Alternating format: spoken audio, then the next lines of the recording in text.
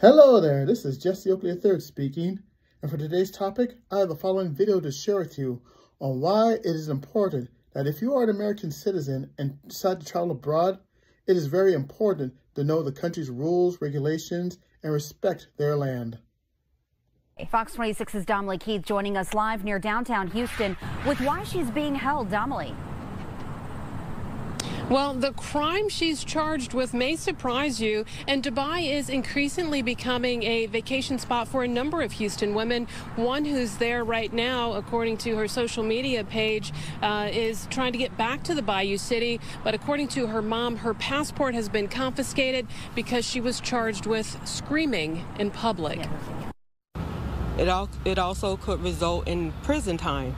So it's very scary. The trip turned terrifying for Tierra Young Allen when her mom says she was a passenger in a friend's rental car and they got into an accident there in Dubai. Tina Baxter says when her daughter went to the company to retrieve her ID, credit card, and other items left in the rental, Baxter says it did not go well. She found out that she could only receive those items if she paid an undisclosed amount of money.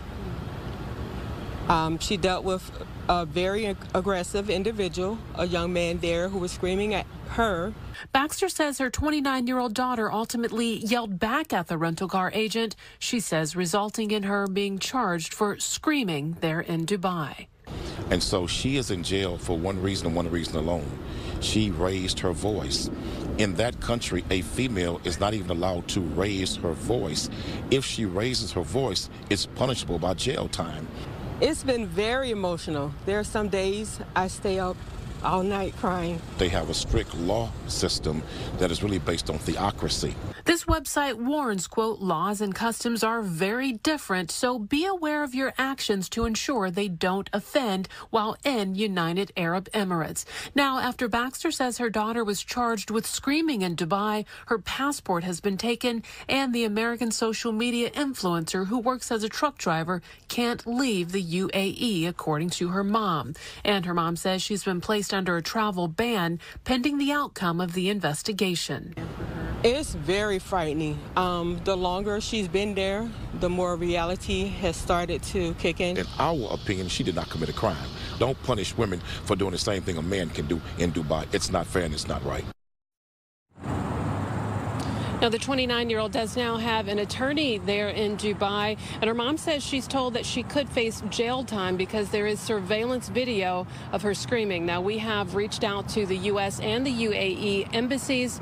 Will government officials step in and give her assistance? I'm still awaiting responses. Reporting live near downtown Houston, I'm Damali Keith, Fox 20. Yes, there's this girl that's in Dubai that's in trouble just for screaming at a man and screaming at somebody. Now, if you are in America, then that might not be a problem. But the problem is that you're in another country, unaware about the rules, regulations, and guidelines of that country's laws. Now, I'm here to say this. If you're an American that's traveling abroad or traveling to different countries all over the world, before you even set foot in that nation, please learn the rules, learn the laws, and respect the different cultures of the different nations that you are traveling to. One false move, one wrong move could end up the same fate as that girl that's in jail right now in Dubai.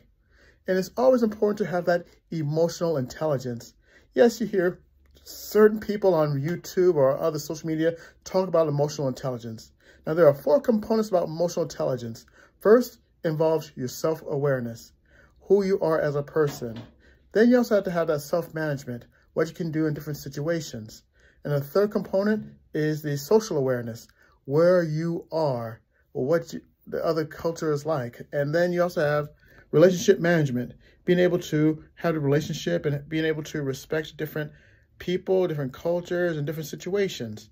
And it's sad to say that this young lady that's being jailed in Dubai, she did not have the right emotional intelligence to understand that what you do in America, you cannot do in Dubai. And all I got to say is, I just hope that she learns any type of lesson from this because the rest of the world is not America. And you just can't go into another nation and yell at the top of your lungs because some countries may put you in jail just because of that. So if you are an American citizen, Please, please, please, if you're traveling abroad, please, please, please know the country's rules, regulations, guidelines, and laws. If you're able to know that and have a strong emotional intelligence, then you'll be able to be better off and you won't be in jail. This is Jessica Third speaking, and until next time, you take care and have a great day. Bye.